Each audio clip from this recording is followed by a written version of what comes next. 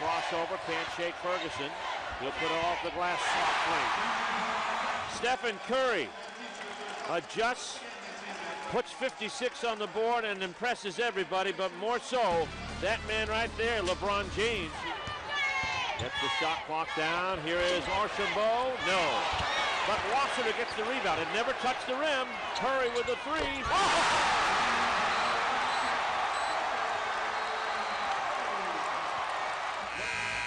There's the great hustle play, and he is at least eight feet behind the NBA three-point line.